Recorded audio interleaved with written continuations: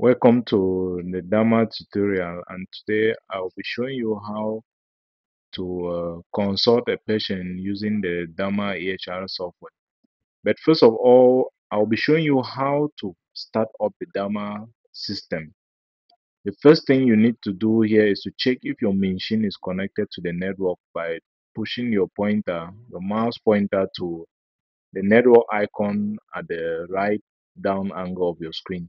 Then you should be able to see BHM MedNet, no internet access. That is okay.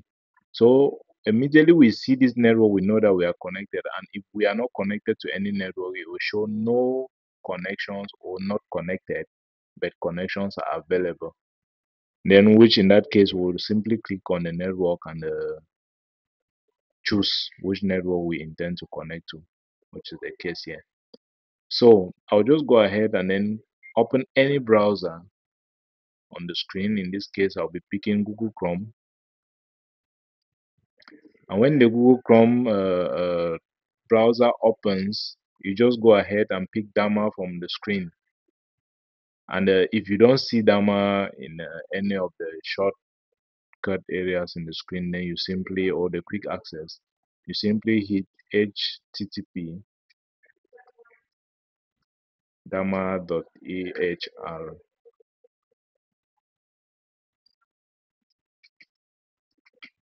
So this is the address you should type http dama.ehr. Then you hit enter key on your keyboard. It will take you to the sign in page where you will need to input your username and your password.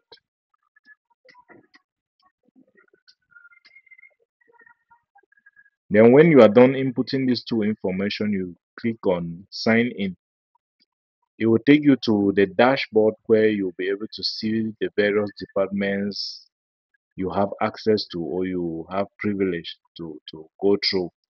In that case, for doctors, you'll be seeing OPD consultation, inpatient, patient registration, vital signs. Thank you very much, and that's it for this first part. And the next part will be coming up, and I'll be showing you how you can choose your physical working location in DAMA to set your environment ready for consultation.